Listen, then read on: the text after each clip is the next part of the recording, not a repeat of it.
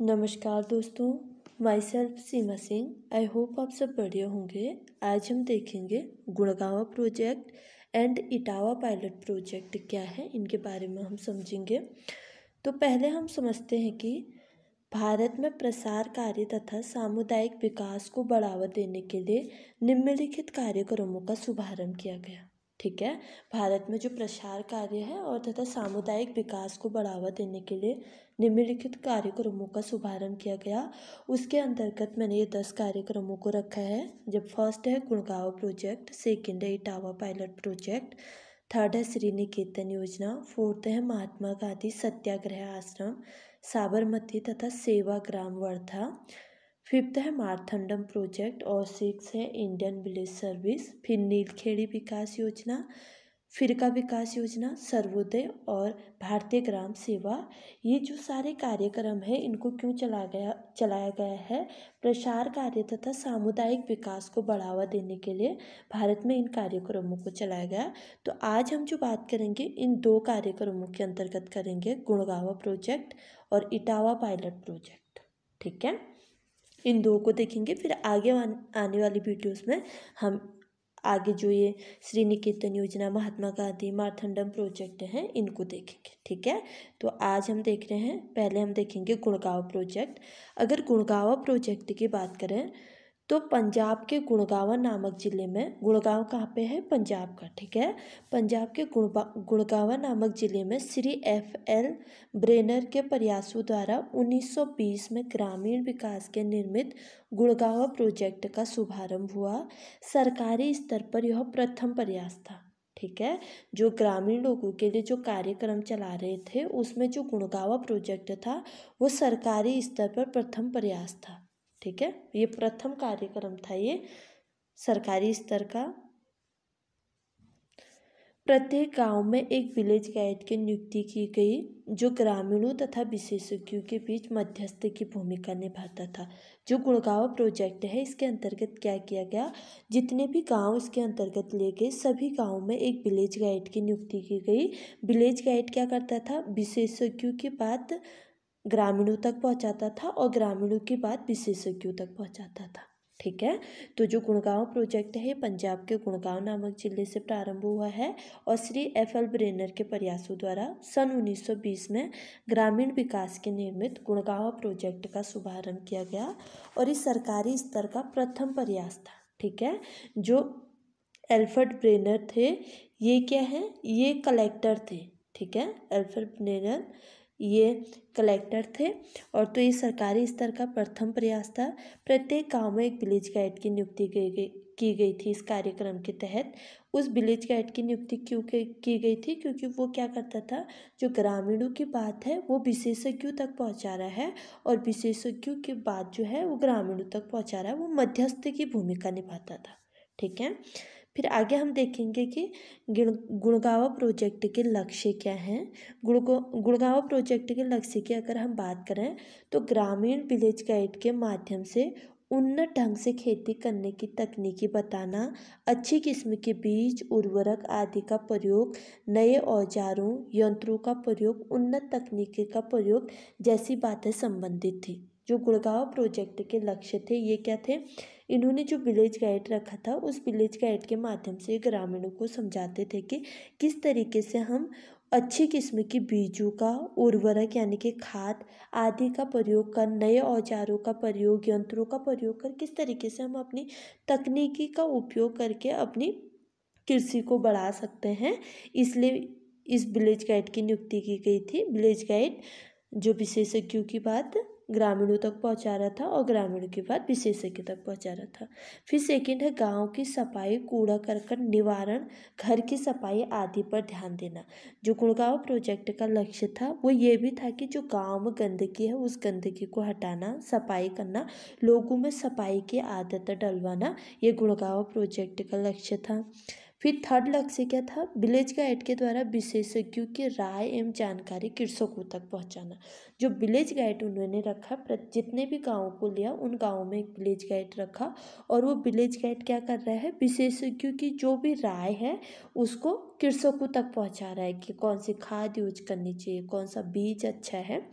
तो इन बातों को वो ग्रामीणों तक पहुंचाएगा विलेज गाइड। फिर ग्रामीण स्वास्थ्य स्तर को ऊँचा उठाना, जिससे लोग उसी क्षेत्र में बार बार होने वाली संक्रामक बीमारियों से बच सके। तो जो गुणगावा प्रोजेक्ट का लक्ष्य लक्ष्य था, वो क्या है कि ग्रामीण स्वास्थ्य को ऊँचा उठाना और जो गाँव में संक्रमण होते हैं, उन संक्रमणों से उनको बचाना था। ठीक है? तो गुड़गांव प्रोजेक्ट के अगर लक्ष्य की बात करें तो गुड़गांव प्रोजेक्ट का जो पहला लक्ष्य था, वो ग्रामीण विलेज गाइड के माध्यम से वो क्या करते थे? जो ग्रामीण कृषक थे, उनको बीजों के बारे में, खाद के बारे में, नई तकनीकी के बारे में जानकारी देते थे।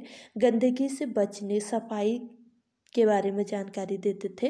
विलेज गाइड के द्वारा विशेषज्ञ राय एवं जानकारी कृषकों तक पहुंचाना और ग्रामीण स्वास्थ्य स्तर को ऊँचा उठाने के लिए लोगों को संक्रामक बीमारी से बचाने के लिए भी उनको जानकारी प्रदान कर करना था गुड़गांव प्रोजेक्ट के लक्ष्य, ठीक है? ये तो हमने देख लिया गुड़गांव प्रोजेक्ट। अब हम देखेंगे Etawah pilot project. Etawah pilot project क्या है? इटावा उत्तर प्रदेश, इटावा कहाँ पे है? उत्तर प्रदेश में है। सन उन्नीस में इटावा पायलट प्रोजेक्ट प्रारंभ किया गया। ठीक है? इटावा पायलट प्रोजेक्ट कब प्रारंभ किया गया? सन उन्नीस में प्रारंभ किया गया। स्वतंत्रता प्राप्ति के पश्चात ग्रामीण विकास की दशा में भारत सरकार का यह पहला कदम था। जो पायलट प्रोजेक्ट था, वो सरकारी स्तर का, सॉरी, जो गुड़गांव प्रोजेक्ट था, वो सरकारी स्तर का पहला प्रयास था। और जो इटावा पायलट प्रोजेक्ट है, ये स्वतंत्रता प्राप्ति के पश्चात का ग्रामीण विकास की दशा में भारत सरकार का यह पहला कदम था। ठीक है? ये स्वतंत्रता प्राप्ति के बाद है, क्योंकि ये जो इटावा पायलट प्रोजेक्ट है, ये कब आया? उन्नीस में आया। कार्यक्रम का संचालन अमेरिकी कृषि विशेषज्ञ लेफ्टिनेंट कर्नल एल्बर्ट मेयर ने किया। इटावा पायलट प्रोजेक्ट का जो संचालन है, वो किसने किया? लेफ्टिनेंट कर्नल, ये क्या थे? अमेरिकी कृषि विशेषज्ञ थे। ठीक है? लेफ्टिनेंट कर्नल अल्बर्ट मेयर ने किया था। गुड़गावा प्रोजेक्ट एक प्रयोग के रूप में चलाई गई थी। इसका उद्देश्य भविष्य की ग्रामीण विकास योजनाओं के संभावनाओं का पता लगाना तथा मार्गदर्शन करना था। इस प्रोजेक्ट में उन्नत पद्धति की खेती, पशुपालन, साक्षरता, जन स्वास्थ्य, कुटीर उद्योग का विकास इत्यादि पर बल दिया गया। ठीक है? इटावा पायलट प्रोजेक्ट में किसके किस पर अधिक ज़ोर दिया गया? पशुपालन, साक्षरता जन स्वास्थ्य लोगों के स्वास्थ्य पर, कुटीर उद्योग छोटे छोटे उद्योगों पर इसके विकास पर इत्यादि पर इसमें बल दिया गया। तो इटावा पायलट प्रोजेक्ट, इटावा उत्तर प्रदेश का जिला है। यहाँ पे ये कार्यक्रम शुरू किया गया। उन्नीस में इसको शुरू किया गया और ये स्वतंत्रता प्राप्ति के पश्चात का प्रथम प्रयास था सरकार का। ठीक है? ग्रामीण विकास के लिए स्वतंत्रता प्राप्ति के पश्चात का भारत सरकार का यह पहला कदम था। इस कार्यक्रम का संचालन किसने किया? इटावा पायलट प्रोजेक्ट का संचालन अमेरिकी कृषि विशेषज्ञ लेफ्टिनेंट कर्नल अल्बर्ट मैन ने किया। इटावा प्रोजेक्ट एक प्रयोग के रूप में चलाया गया था, ठीक है? इटावा जो पायलट प्रोजेक्ट है, इसको एक प्रयोग के रूप में चलाया गया, जिसका उद्देश्य क्या था? ग्रामीण विकास की योजनाओं के संभावनाओं का पता लगाना तथा उनका मार्गदर्शन करना, ये इसका उद्देश्य था। इस प्रोजेक्ट में किन बातों पर अधिक ध्यान दिया गया? खेती पर ध्यान दिया गया, पशुपालन, साक्षरता, धन स्वास्थ्य जन स्वास्थ्य, कुटीर उद्योग का विकास इत्यादि पर इसमें ध्यान दिया गया। गुड़गांव प्रोजेक्ट में हम देख रहे थे कि गुड़गांव प्रोजेक्ट में किसमें ध्यान दिया जा रहा था? अच्छी बीज पर, अच्छी तकनीकों पर और क्या कहते हैं? अच्छी खाद पर उसमें ध्यान दिया जा रहा था, लेकिन जो इटावा पायलट प्रोजेक्ट है, इसमें खेती पर भी पशुपालन, साक्षरता, जन स्वास्थ्य और कुटीर उद्योग इत्यादि सभी पर ध्यान दिया गया, ठीक है? अब हम देखेंगे इटावा पायलट प्रोजेक्ट के लक्ष्य क्या हैं। अगर इटावा पायलट प्रोजेक्ट के लक्ष्य की बात करें तो ग्रामीण विकास की संभावनाओं का पता लगाना तथा अनुकूल विकास कार्यक्रम बनाना था।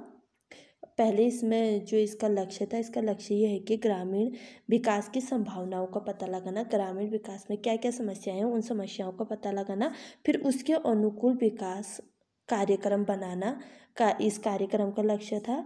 ग्रामीणों को उनके आवश्यकता के प्रति जागरूक बनाना था। ठीक है? ग्रामीणों को क्या क्या आवश्यकता है? उसके प्रति उनको जागरूक बनाना इस कार्यक्रम का लक्ष्य था। लोगों में विकास कार्यक्रम के प्रति विश्वास जगाना तथा स्वावलंबी बनाना था। ठीक है? लोगों को विकास कार्यक्रमों के प्रति उनमें विश्वास जगाना, उनको स्वावलंबी यानी कि अपनी सहायता खुद करो कि उस पर स्वावलंबी बनाना था। कृषि का कितना विकास हुआ है तथा उत्पादन कितनी बड़ी है, इसका पता लगाना भी इटावा पायलट प्रोजेक्ट का लक्ष्य था उत्पादन बढ़ाने के उपाय को बताना, उत्पादन हम कैसे बढ़ा सकते हैं, इन उपायों को ग्रामीणों को समझाना, सहकारिता, सामुदायिक जीवन रक्षा, समाज सुधार के प्रति लोगों का विवेक जगाना। जो ग्रामीण लोग थे, उन लोगों को सहकारिता, सामुदायिक जीवन रक्षा, समाज सुधार के प्रति लोगों में जागरूकता जगाना था और ग्रामीणों की रुचि का पता लगाना तथा उनकी सूचना एकत्रित करना। जो इटावा पायलट प्रोजेक्ट का लक्ष्य था, उसके अंतर्गत ये भी आता है कि वो ग्रामीणों का रुचि का पता लगाते थे कि लोग क्या करना चाह रहे हैं। फिर उन सूचनाओं को वो एकत्र करते थे, फिर उसी के अनुकूल वो क्या करते थे, योजना को बनाते थे। ठीक है? तो इटावा पायलट प्रोजेक्ट के लक्ष्य की बात करें तो ग्रामीण विकास की संभावनाओं का पता लगाना और उसके अनुकूल का विकास कार्यक्रम बनाना ग्रामीणों को उनके आवश्यकताओं के प्रति जागरूक करना लोगों के विकास के प्रति विश्वास जगाना तथा उनको स्वावलंबी बनाना कृषि का कितना विकास हुआ है तथा उत्पादन कितनी बड़ी है इसका पता लगाना उत्पादन बढ़ाने के उपायों को बताना ग्रामीणों को और सहकारिता समुदाय जीवन रक्षा सम, समाज सुधार के प्रति लोगों का विवेक जगाना, ग्रामीणों की रुचि का पता लगाना तथा उनकी सूचना एकत्र करके जो योजना बनानी है, जो कार्यक्रम बनाना है, उनके ग्रामीणों की रुचि के अनुसार बनाना ये सभी इटावा पायलट प्रोजेक्ट के अंतर्गत आता है, ठीक है? तो हमने आज दो कार्यक्रम को देख लिया, इटावा पायलट प्रोजेक्ट और गुड़गांव प्रोजेक्ट और आगे फिर हम इन आगे जो और कार्यक्रम है, इनको डिस्कस करेंगे। तो अगर आपको मेरी वीडियो पसंद आए तो प्लीज़ लाइक शेयर कमेंट और सब्सक्राइब करना ना अपने मिलते हैं अपने अगले वीडियो में, तब तक के लिए बाय